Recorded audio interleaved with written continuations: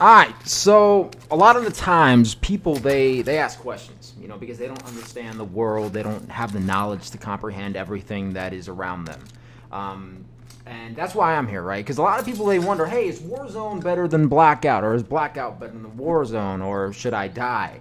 Um, here, here's what I'm saying: Warzone is obviously, obviously better than Blackout. Black, Blackout, Blackout. Who cares what it's called? Warzone's better okay and um, and i can prove it right? So here some studies have been done about uh, the amount of people that play warzone right? And if you take a look at this chart what is this called? The line graph? I pulled this off the web.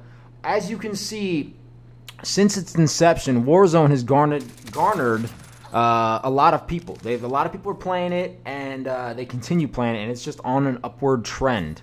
And uh, if you take a look at blackout um, I wouldn't say that's the same case.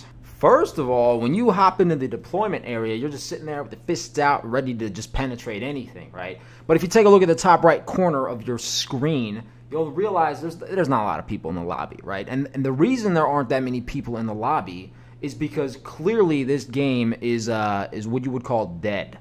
You know, it's a dead game. People don't want to play it. People think it sucks. People don't like it and it even just takes it just takes a long time for you to get into the game. Many hours later. Blackout. Yes, time to drop my balls. So, bottom line, more people play Warzone than Blackout. Okay, that's evident. I've provided my statistical evidence, and uh, that's uh, disprovable, right? Now, the question that we need to ask, however, is why, right? Scientists, philosophers, homosexuals, they've been hard at work trying to understand why is it exactly that more people are playing Warzone than than Blackout. And honestly, this is something I don't think anyone ever is gonna understand. People just seem to like it. You know, some people would say, "Look, Blackout came out, you know, three or so years ago, and Warzone's newer." You know, um, some might say that uh, Modern Warfare is just a, a, better game or something. But no, no one knows why there are more players. You know what I'm saying? There's more players on Warzone than there are Blackout. Even even at the height of Blackout, right?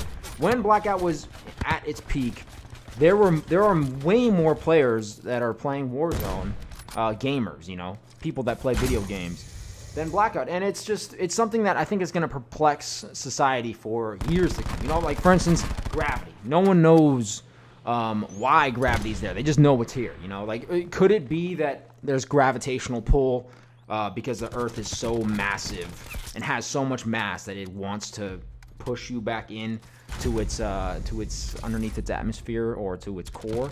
Could be, could not be. You know, no one knows. That's what I'm trying to say. And for the same reason, no one knows why so many people are able to play Warzone um, and aren't able to play Blackout, which costs money. So no one knows. And um, I don't think anyone ever will. So look, if you like Warzone, uh, you could like the video. If you don't like Warzone, I would recommend to like the video.